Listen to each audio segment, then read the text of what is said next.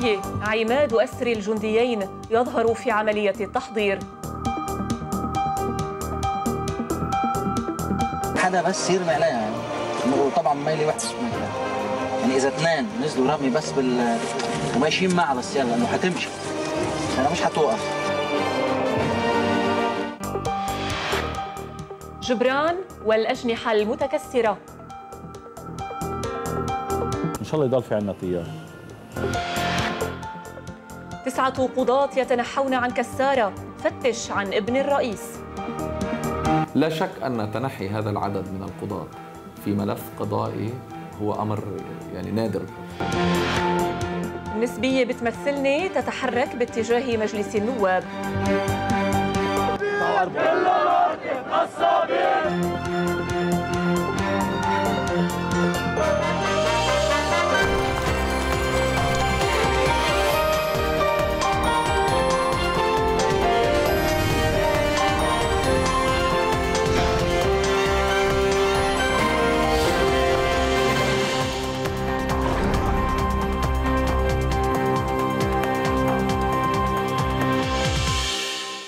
صباح الخير. أيام تموز بحربه وحره وانتصاراته تكشف يوميا عن خبايا جديدة على الرغم من مرور عشر سنوات على العدوان. وفي مشاهد لقناة الميادين ظهر الشهيد عماد مغني عمادا لعملية أسر الجنديين الإسرائيليين في خلة وردة في عمليات الأسر السياسية يبقى قانون الانتخاب المعتقل الأول. وله سيرت تظاهرة من البربير لتستقر بإقامة دائمة في رياض الصلح. مجموعة الحراك الشعبي في طليعتها بدنا نحاسب نظمت هذه المسيرة التي أكدت أن لا بديل للتمثيل الصحيح ولا سبيل للمحاسبة إلا بالقانون النسبي وأعلنت استمرارها في ساحة رياض الصلح حتى انتهاء جلسات الحوار. وإذا كان الرئيس نبيه بري قد سأل عن البديل وانتقد من يرمون العصي أمام طاولة الحوار فإن الأجوبة تأتيه من هنا. من حراك يمثل نخبا ورأيا عاما لبنانيا فقد ثقته بالتغيير. البديل بإنتاج قانون انتخابي لا يستثني أحدا وليس مفصلا على مقاس الزعامات وفروعها. ومتى وضعنا قانونا نسبيا متطورا فإنه سينتج مجلسا نيابيا واسع التمثيل. وهذا المجلس سيكون مقر الحوار القانوني لا طاولات ابتدعت للتخدير من ساحة النجم الأولى إلى طاولات بعبدة فساحة النجم الثانية فعين التيني ومن أرنب إلى أرنب ومن مشروع إلى سبعة عشر مشروعا تكدسوا ورحلوا من الهيئة العامة إلى اللجان كبر الرئيس بري حجر القانون حتى لا يرشق به.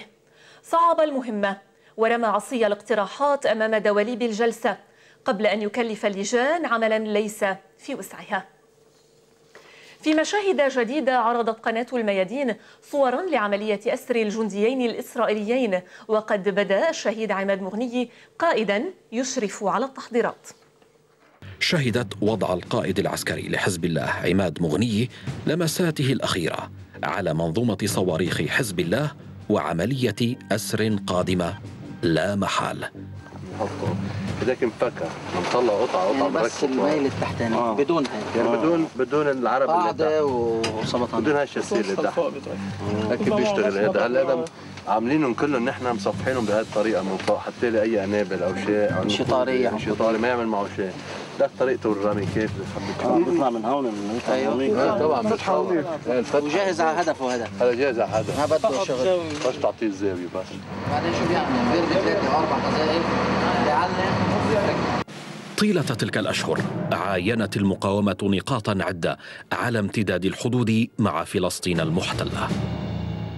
وقع الخيار في النهاية على منطقة خلة وردة تحديدا نقطة التبليغ 105 وهي نقطة ضعف عملياتية بالنسبة لإسرائيل. قام قائد العملية خالد بزي الحاج قاسم بالاقتراب من السياج وأخذ المقاسات تمهيدا للمناورات.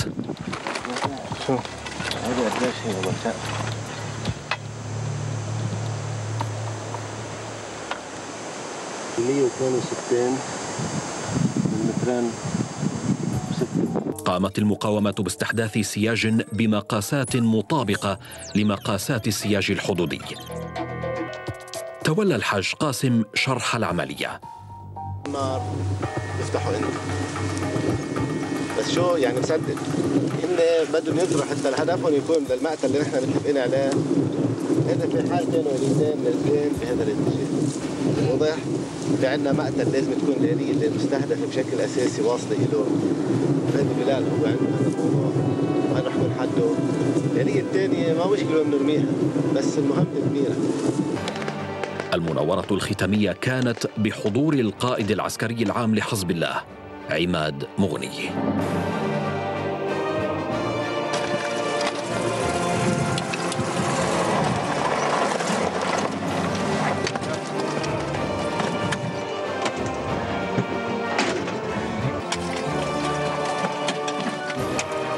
بس يرمي عليها يعني وطبعا ميلي وحش يعني إذا اثنين نزلوا رمي بس بال وماشيين معها للسيارة لأنه حتمشي.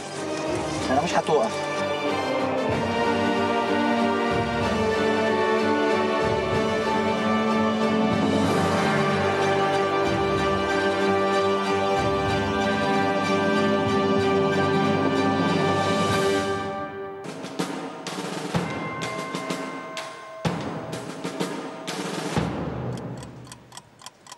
الثاني عشر من تموز يوليو 2006 توجهت المركبتان باتجاه نقطة التبليغ 105 الساعة حينها التاسعة والأربع دقائق.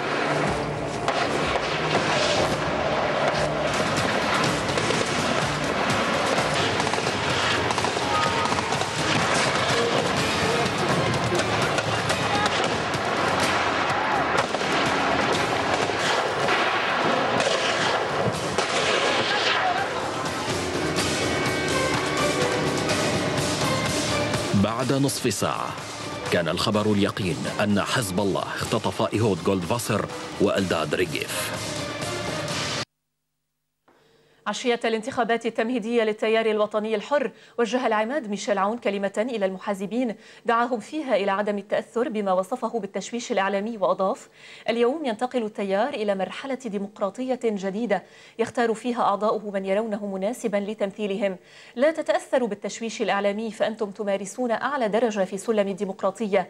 هذه الانتخابات الرائدة تعطي أهمية وقيمة لكل صوت في التيار وتشكل الطريق الصحيح للتغيير لمن يريده.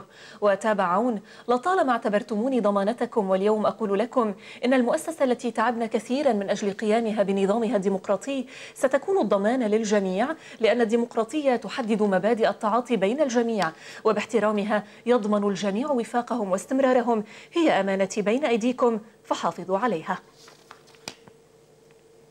فصل كوادر من التيار الوطني الحر. تغيير بعيد عن الإصلاح والقرار قد يشمل نوابا في التيار البرتقالي. من علامة الصح التي اتخذها التيار الوطني الحر شعارا له إلى جانب اسم التغيير والإصلاح. يبدو أن الحملة بدأت داخل التيار نفسه بعد أكثر من عقد من الزمن من دخوله السلطة وسياسة المحاصصة التي كان يعرضها دائما.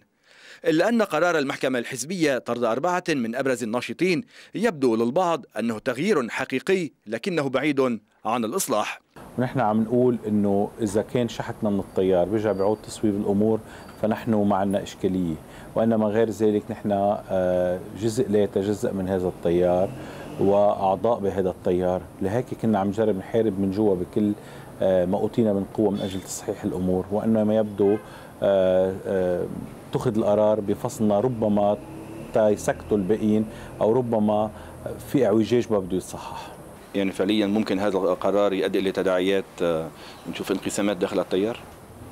عم أقول لك مش نحن ندعي هذا الموضوع. إذا استمرت القيادة الحالية على هذا النهج. إن شاء الله يضل في عندنا تيار.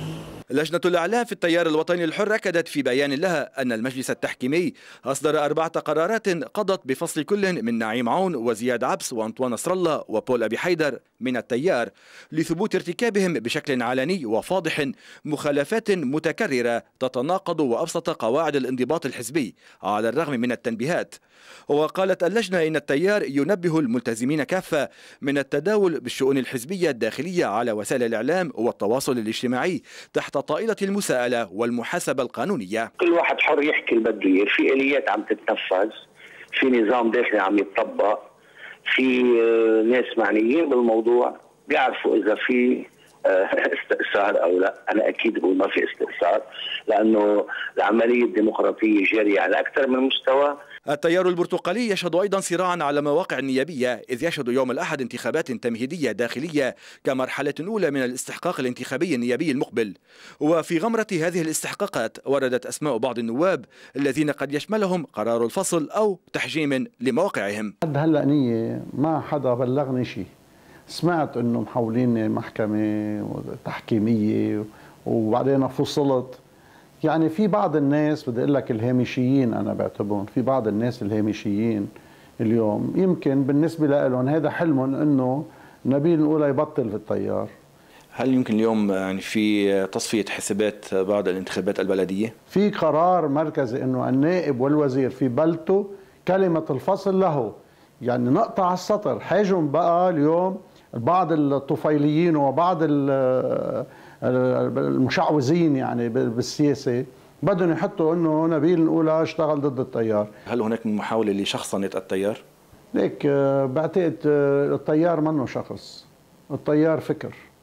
مشان هيك بقول لك إنه كل شخص فينا حامل هالفكر هيدا. كل شخص فينا بيعتبر حاله إنه هو فكر ميشيل عون مشان هيك صعب كثير إنك تختصره بشخص. صراع الأجنحة داخل التيار بدأ يظهر إلى العلن مع الانتخابات البلدية. وعد المعترضين من أبناء هذا التنظيم فإن القابل من الأيام سيحمل عددا من المفاجآت التي لن تكون في مصلحة القيادة الحزبية. في حين تؤكد أوساط القيادة الحزبية أن المجلس التحكيمي مستقل وأن أحدا لم يتدخل في قراراته. باسل العريضي قناة الجديد. مئات الناشطين المدنيين يتظاهرون في ساحة رياض الصلح مطالبين بقانون انتخابي على أساس نسبي. لبى مئات الناشطين المدنيين دعوة حملة بدنا نحاسب ومجموعات الحراك الشعبي إلى التظاهر من أجل تطبيق قانون النسبية في الانتخابات النيابية. ويسقط قانون الستين وتسقط الطائفية. من البربير باتجاه ساحة رياض الصلح هتف الناشطون إلى جانب شخصيات سياسية وفعاليات بصوت واحد وموحد. النسبية تمثلني. لا هذا بداية تحرك. نتأمل أنه هذا يكبر. ويقدر يفرض خلال الفترة القصيرة اللي قدامنا أنه يصير في تمثيل فعلي بهالبلد وإنه يرجع عنا دولة مثل العالم لأنه الحالة اللي واصلين لها يعني ما بدها كثير شرح يعني بهدلة عن هيك ما بيصير وانهيار كامل. الحراك تقوص عليه وانصاب بس ما مات رجع قام وعاش وبلش. بعدين ما تطلع انت بالمجموعات اللي شايفتيهم بس في كثير ناس بعد ما قدروا وصلوا وفي كثير ناس قاعدين ببيوتهم وبأيدوا هالحراك. ما فينا غير نضغط ما رح نستسلم. كل يوم وكل شهر وكل مناسبة وقانون النسبية هو الحل. ما في حل تاني دون قيد طائفي لبنان دائرة واحدة هيدا هو القانون اللي بيمشي قررنا نقوم بتحرك آه، جديد وأسلوب جديد من نوعه يخلق سابقة بالاقتراح الشعبي كون نعتبر إنه المؤسسة الدستورية الشرعية الوحيدة الباقية هي الشعب. من الساحة نفسها رفع الناشطون الصوت مؤكدين أن قانون النسبية هو خشبة خلاص لبنان. فقد جئنا اليوم مطالبين بقانون انتخاب عصري على قاعدة النسبية الكاملة. قانون يعتمد المواطنة مقياسا. قانون يتضمن سلة الإصلاحات اللازمة لضمان صحة التمثيل. وقضية العسكريين المخطوفين لم تغب عنهم. أتمنى من كل الشعب اللبناني أكيد اللي عنده ضمير وشرف وأنا بعرف بعد في فئة كبيرة من هذا الشعب عندها كرامة وضمير أن تحضر وتوقف معنا لحتى يكون في إلى فضل. بإعادة تحريك ملف وإعادتهم إلى المكان الطبيعي تبعهم اللي هو مؤسستهم وبلدهم وحضن أمهاتهم وأطفالهم وأبائهم وبيوتهم. وفي مشهد متكرر نصب المتظاهرون الخيم في ساحة رياض الصلح على أمل تحقيق مطلبهم. دعوى قضائية بين رئيس بلدية كفر رمان السابق ورجل أعمال وكلاهما موال لحركة أمل أدت إلى تنحي تسعة قضاة في قصر عدل النبطي. الجديد يكشف القطبة المخفية وراء الضغط السياسي في القضية وارتباط اسم نجل الرئيس نبيه بري في تحقيق من جزئين لهادي الأمين.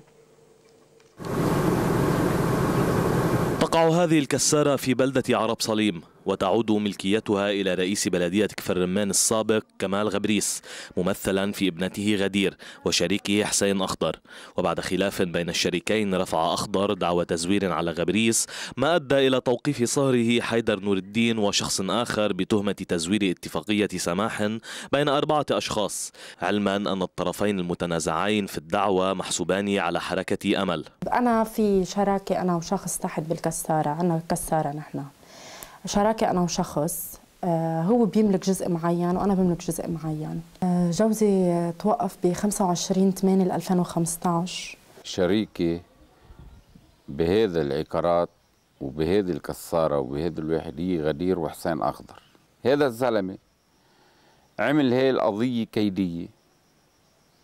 بالتنسيق مع بعض الناس وبالاتفاق مع بعض الناس. اللافت في الموضوع أن تسعة قضاة في قصر عدل النبطي تنحوا يوم ذاك عن القضية مع أنها مجرد دعوى تزوير. كل ما بيعينوا واحد بيتنحى الثاني ولا يعينوا الثاني بده 15 يوم. طبعا حدد القانون الحالات التي يتوجب على القاضي أن يتنحى فيها عن النظر في في ملف معين. خارج هذه الحالات هنالك حالة أشار لها القانون بحيث منح القاضي حق التنحي عن أي ملف إذا استشعر الحرج في النظر في هذا الملف. لا شك أن تنحي هذا العدد من القضاة في ملف قضائي هو أمر يعني نادر الحصول. كل ما يجري قضائيا يوحي بوجود قطبة مخفية في الملف وكان غبريس في أثناء مقابلتنا معه قد توعد بكشف المستور إلا أن إحالة الملف إلى بيروت أدى إلى تخلية سبيل صهره حيدر نور الدين. سأطلع على التلفزيون.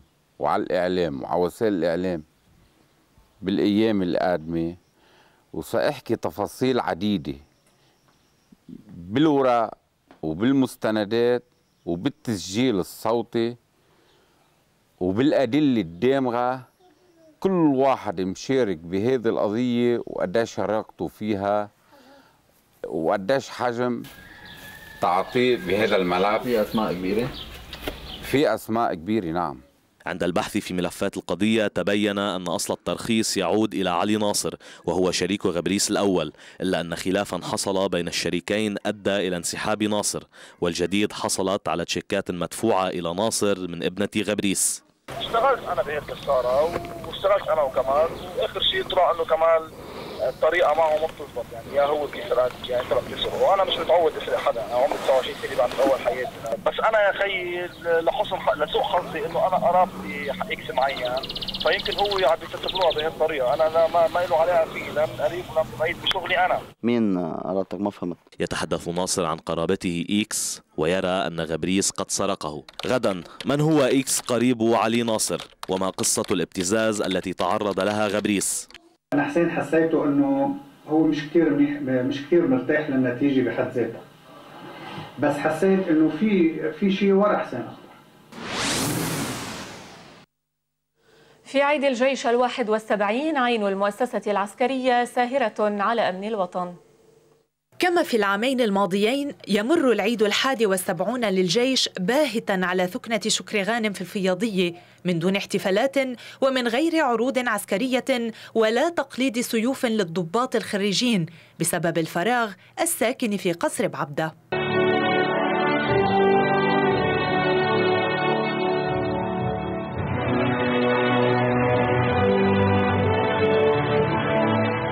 وتعويضا عن هذه المشهدية وجهت قيادة الجيش رسالة تطمين إلى اللبنانيين مفادها أن عين المؤسسة العسكرية ساهرة على أمن الوطن والمواطن وأن محاربة الإرهاب قرار استراتيجي لها.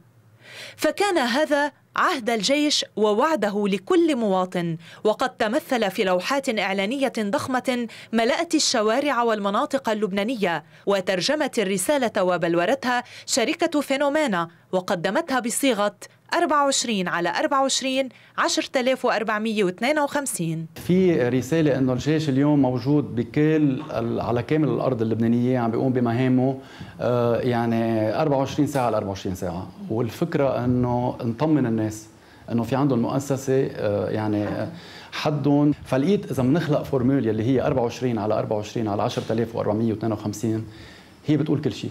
في شيء أبعد من هيك بعد؟ لقدام نحن رح نضلنا سوا 24 على 24 لنحارب الإرهاب بكل أطره. شرف تضحية تضحية تضحية وفاء. كلنا للوطن الجامع المشترك وغيرها. شعارات أطلقها الجيش في السنوات الماضية خاطب فيها اللبنانيين بشكل مباشر على اختلاف مشاربهم السياسية والطائفية. شو الجيش بالنسبة لك هلا بالنسبة لي أنا كلبناني الجيش بيمثل يعني حماية أمن واستقرار. الجيش الجيش هو كل شيء. حصانة والضمانة وكل شيء. ما في جيش ما في لبنان. يختلط العيد بالألم هذا العام أيضا فتسعة من جنودنا لا يزالون مجهولي المصير في قبضة الإرهاب. ولا ننسى الشهداء الذين يسقطون ببزاتهم العسكرية دفاعا عن لبناننا العظيم. رسالة الجيش إلى اللبنانيين واضحة. نحن معكم 24 على 24 على كامل ال 10452 كيلومتر مربع. لن نهدأ لن نستكين في مواجهة الإرهاب وفي حفظ الأمن في لبنان. فتحية وفاء إلى أهل الشرف والتضحية والوفاء. دارين دعبوس قناة الجديد. بعد الفاصل ملونات على المحليات.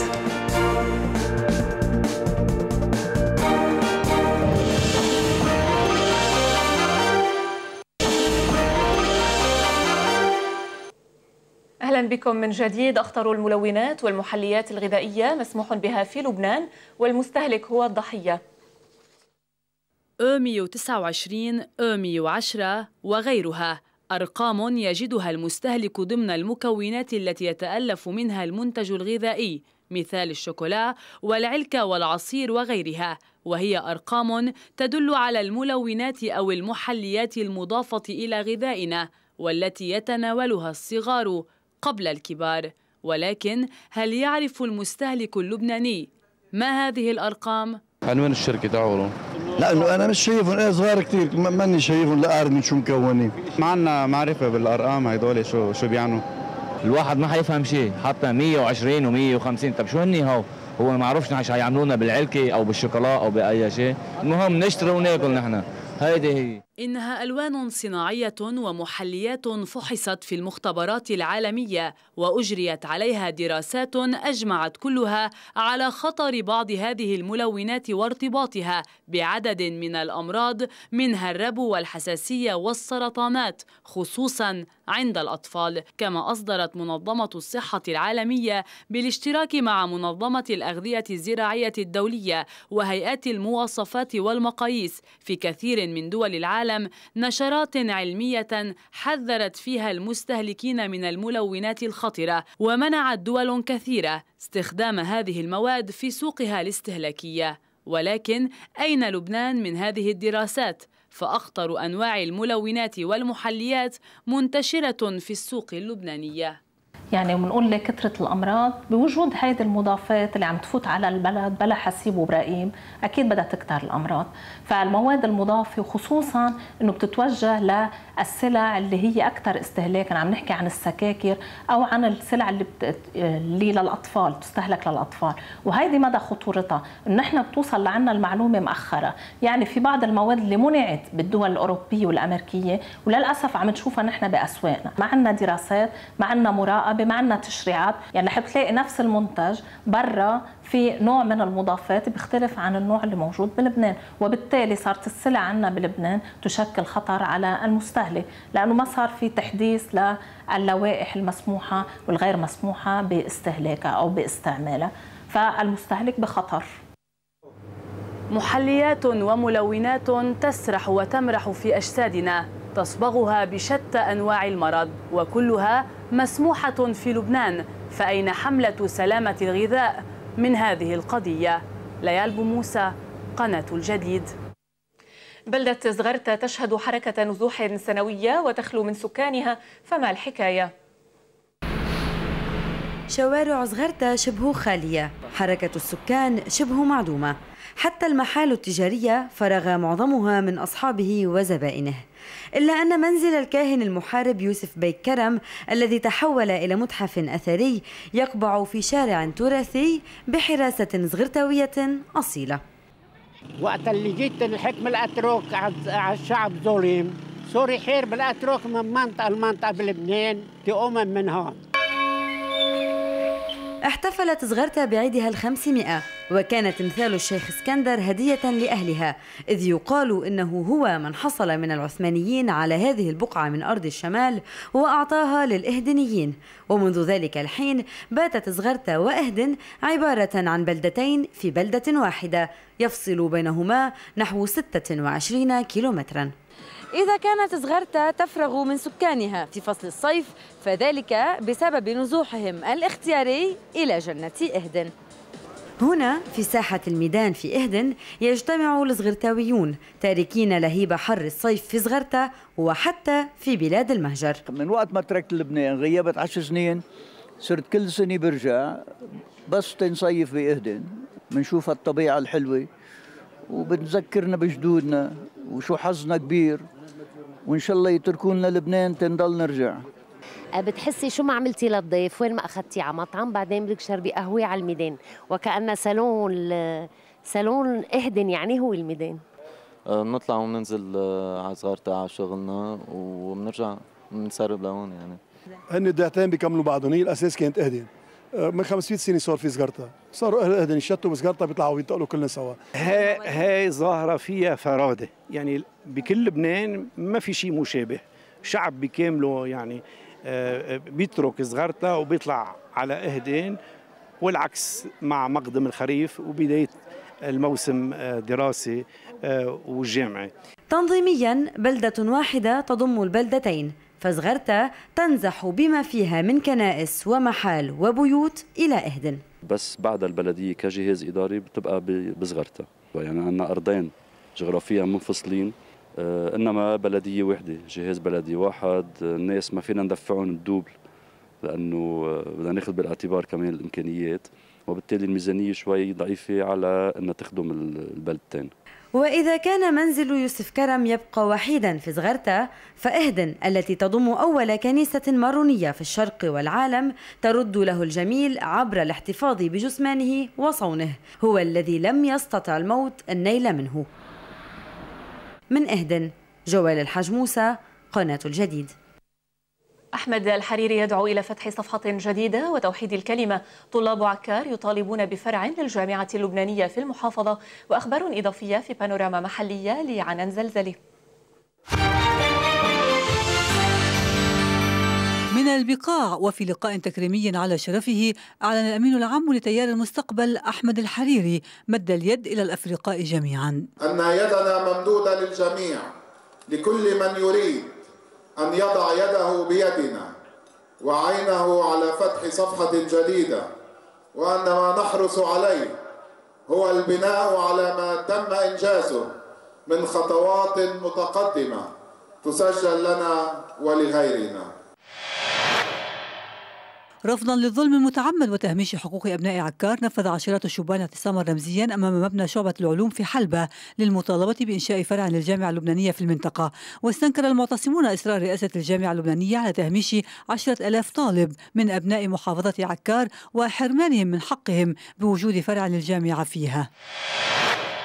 واصل الطلاب الذين أنهوا المرحلة الدراسية الثانوية أمام وزارة التربية اعتصامهم للمطالبة بحقوقهم في التقدم للكلية الحربية والوظائف العامة في الدولة بناء على الإفادات التي أعطيت لهم بدلا من الشهادات الرسمية. إلى المستشفى نقل ربيع الصايغ المياوم في مؤسسة كهرباء لبنان والمضرب عن الطعام منذ خمسة أيام وسط تضامن زملائه الذين أصروا على تصعيد تحركهم حتى نيل مطالبهم. مش مقتنع باللي عملته. بس بهذا البلد انه ما في شيء عم بوصل عم بوصل يعني وجعنا للسياسيين يمكن آه يمكن كنا كل مرة نسكر ونحرق دواليب ولا مرة يمكن وصلنا لنتيجة مرضية. قلنا بركي بهالطريقة اللي أكيد نحن أنا نفسي مش راضي عليها يعني إنه بركي بيوصل صوتنا. بركي بيوصل صوتنا ووجعنا للناس وللزعماء بشوفوا نحن وين حقنا وبيعطونا اياه يعني.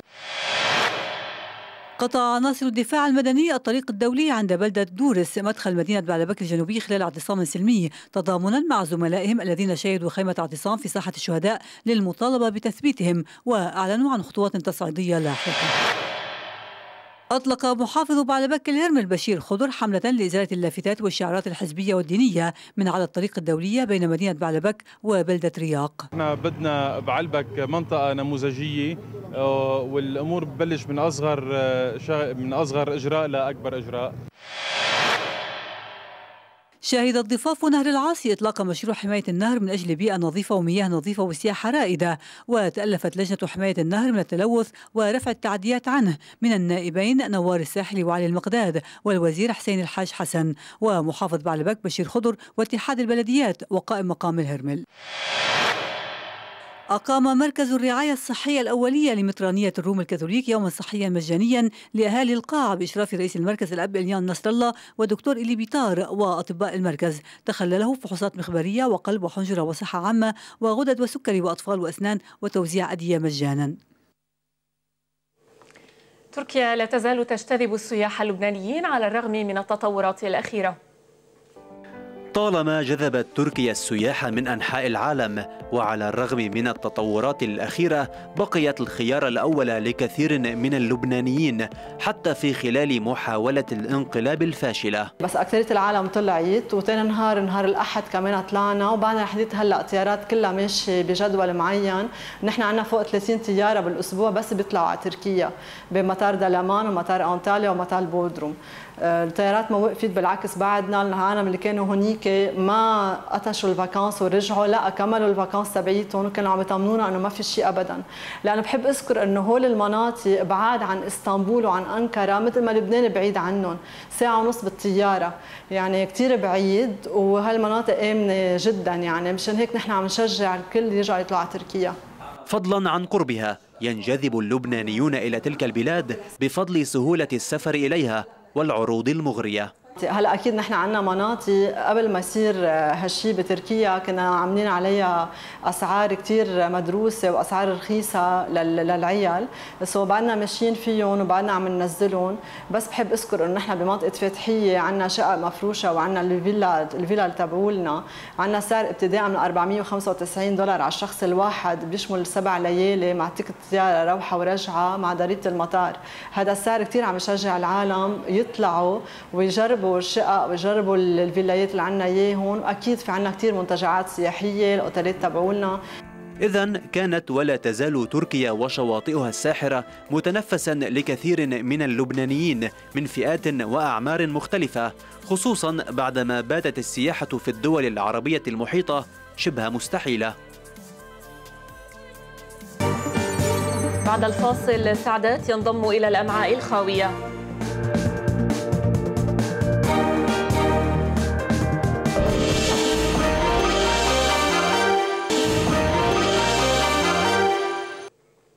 إلى أخبارنا الإقليمية حجب البرلمان التونسي الثقة عن حكومة رئيس الوزراء الحبيب الصيد وذلك بعد مواجهة استمرت أسابيع مع الرئاسة. ودعا الرئيس الباجي قائد السبسي إلى تأليف حكومة وحدة جديدة للتغلب على الانقسامات السياسية في الائتلاف الحاكم المؤلف من أربعة أحزاب وإلى الاستجابة بصورة أسرع للتحديات الاقتصادية والأمنية.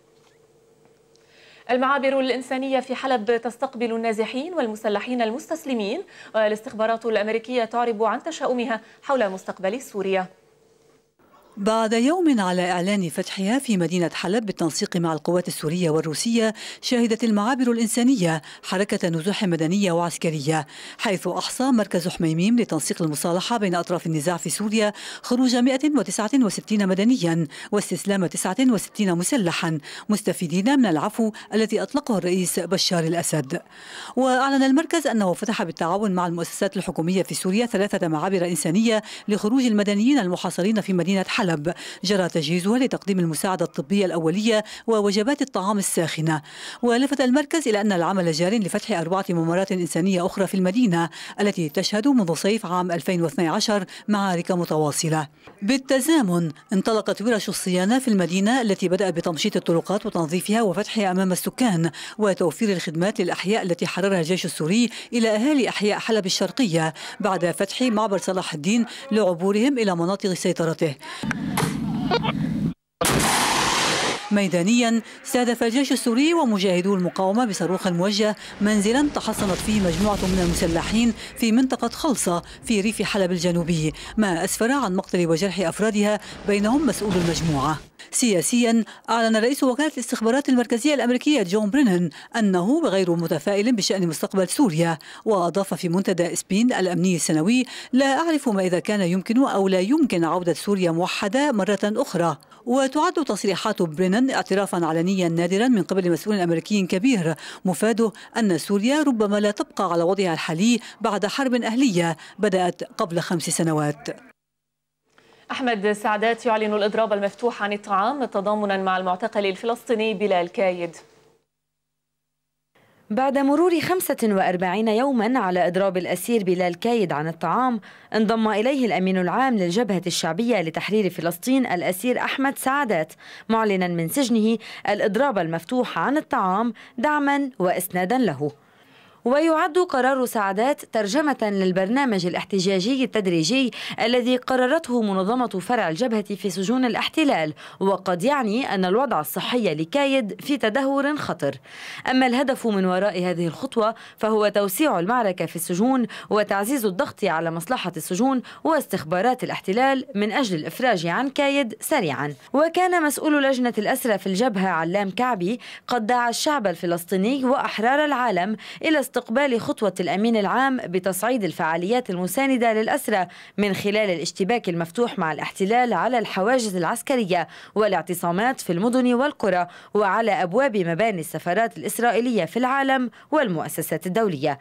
يذكر أنه جرى اختيار أحمد سعدات أمينا عاما للجبهة الشعبية بعد اغتيال زعيمها أبو علي مصطفى على يد إسرائيل وظهر في أول خطاب له بعد توليه الأمانة العامة معلنا مبدأ الجبهة الشعبية الشعبية وهو العين بالعين والسن بالسن والرأس بالرأس. وقد اختطفته استخبارات السلطة الفلسطينية واحتجزته في مقر الرئيس الفلسطيني ياسر عرفات إلى أن حاصرت القوات الإسرائيلية المقر مطالبة بتسليمها سعدات وأربعة من رفاقه تتهمهم بالوقوف وراء اغتيال وزير السياحة الإسرائيلية آنذاك. جدل في مصر حول قرار الحكومة توحيد خطبة الجمعة وعلماء الأزهر يرون فيه تجميدا للخطاب الديني. تقرير منى عشماوي بعد أسبوعين من بدء تطبيق توحيد خطبة الجمعة في كافة المساجد المصرية بأوامر من وزارة الأوقاف تأتي هيئة كبار العلماء برئاسة الإمام الأكبر شيخ الأزهر ترفض بالإجماع. الخطبة المكتوبة معتبرة هذه الخطوة تجميدا للخطاب الديني في الوقت الذي يحتاج فيه الأئمة إلى تدريب جاد وتثقيف حتى يستطيعوا مواجهة الأفكار المتطرفة والشاذة. من جهة أخرى تأتي خطبة الجمعة اليوم من مسجد السيدة نفيسة لتضرب برفض هيئة العلماء عرض الحائط. يقف فيها خطيب المسجد يتلو خطبته من ورقة. يحض فيها السامعين على النظافة والطهارة وكيفيتهما في الإسلام. ليختلف المشهد في مدى استجابة خطباء المساجد إلى قراءة الخطبة المكتوبة الموحدة. فالخطبة الموحدة ما هي إلا إسطمبة. أي إنسان يقول لا. الجوامع كلها على مستوى الجمهورية خطبة واحدة. إيه اللي أنا هستفيده سواء سمعت خطبة في التلفزيون أو خطبة في البيت؟ إحنا مش عاوزين نرفع البلد. إحنا عاوزين نعيش في سلام أهم حاجة نعيش في سلام وأهم حاجة ان الخطيب يدلي بكلامه الصحيح للناس. لا ابدا مش معاه مش ضدها ولا حاجة. يعني هي عادي وهو, وهو كل واحد يقولها بطريقته برضه. في الآونة الأخيرة خرجت اتهامات تطال المساجد ببثها أفكار متطرفة وهابية سلفية. اتهام مباشر لبعض الشيوخ الذين يستغلون المنابر في إلقاء خطب ودروس تحض الشباب على الكراهية والعنف لا سيما تلك المساجد الصغيرة في النجوع والقرى والحارات المصرية. الأمر الذي أدى إلى إصدار قرار منذ سنتين بأن تخضع كل المساجد إلى رقابة الأزهر وأن يتم تعيين شيوخ وخطباء يتبعون المشيخة الأزهرية. إلا أن الاتهامات بالتطرف قد طالت بعض شيوخ الأزهر أيضا الذين ما زالوا يوافقون على وجود داعش وغيرها من الحركات والتيارات المتطرفة. دي فتنة وبدعة منكرة مخالفة للشريعة ومخالفة للدستور لأن الشعب المصري أو المجتمع المصري بدون تحيز غير الأنظمة اللي في الخليج أو اللي في أفريقيا. أنظمة في الخليج هي لها نظم سياسية تخصهم آه، يريدون تحجيم أو ربط أو أسر الخطيب في ورقة بأفكار غيره مجرد قارئ نشرة أخبار. هذا لا يصلح في مصر. طبيعة الحال هذه الفتنة لابد أن نتصدى لها لأن أنا أعلم التداعيات. هي تكميم أفواه لا أكثر ولا أقل. هي قتل للإبداع هي تجميد للخطاب الديني إضفاء موضوع واحد على خطب الجمعة يجده الكثيرون تسييس غير مباشر وإغفال لأحداث الواقع الهامة ويراه آخرون ابتعاد عن السياسة ومناوئة الحاكم. وتغفل الأغلبية في تفكيرها السطحي أن التطرف والإرهاب بات انتشاره سهلا في منابر الواقع الافتراضي التي لا تحتاج إلى إذن أو رخصة. لا تزال الكثير من المساجد الصغيرة لا تطبق الخطبة الموحدة. في الوقت الذي يحتاج فيه تجديد الخطاب الديني إلى كثير من التعقل والحرية المسؤولة والمؤاخاة بين البشر والعودة للإنسانية. منى عشماوي الجديد من القاهرة.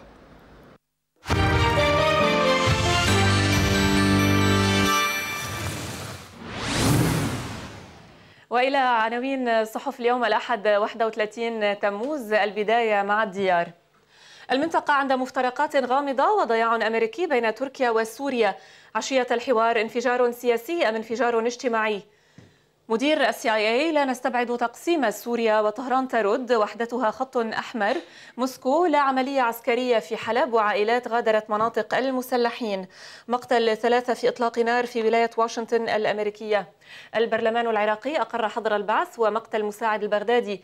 بدء تحرير جزيرة الخالدية والصدر منع التظاهرات لثلاثين يوما. ومن الديار ننتقل إلى صحيفة المستقبل. محمد المشنوق يرد على نصر الله. يعطلون انتخاب رئيس ويتهمون الحكومة بالتقصير. جديد خلوة الحوار الموازنة. وفي صورة المستقبل رملك ذهب في تحية إلى الجيش اللبناني. الرئيس كلينتون ستعمل على الإطاحة بالأسد. ننتقل إلى صحيفة الحياة وفي عناوينها اليوم. الولايات المتحدة والاتحاد الأوروبي يدينان المجلس السياسي. ولد الشيخ يقترح تمديد مشاورات اليمن أسبوعا. خادم الحرمين والعاهل المغربي يبحثان القضايا المشتركة. طهران تعتبر بقاء الأسد خطا أحمر وواشنطن ترى أن سيطرته على كل سوريا خيال علمي. المعارضة تطالب بإشراف دولي على معابر المدنيين في حلب. وإلى الشرق الأوسط واشنطن وموسكو تسعيان لتحديد بنك أهداف مشترك المحاصرون في حلب بين فكي ممرات الموت والجوع. الملك سلمان يستقبل العاهل المغربي في طنجة. القوات السعودية تدك معاقل الحوثيين بعد محاولتهم التسلل إلى أراضيها. مساعي اللحظات الأخيرة تمدد المشاورات اليمنية أسبوعا آخر. كان في عناوين النشرة مغنية عماد أسر الجنديين يظهر في عملية التحضير. حدا بس يرمي عليها يعني وطبعا ميلي وحش يعني إذا اثنين نزلوا رمي بس بال وماشيين معها بس يلا إنه حتمشي. أنا مش حتوقف. جبران والأجنحة المتكسرة. إن شاء الله يضل في عندنا طيار. تسعة قضاة يتنحون عن كسارة. فتش عن ابن الرئيس. لا شك أن تنحي هذا العدد من القضاة في ملف قضائي هو أمر يعني نادر. النسبية بتمثلني تتحرك باتجاه مجلس النواب.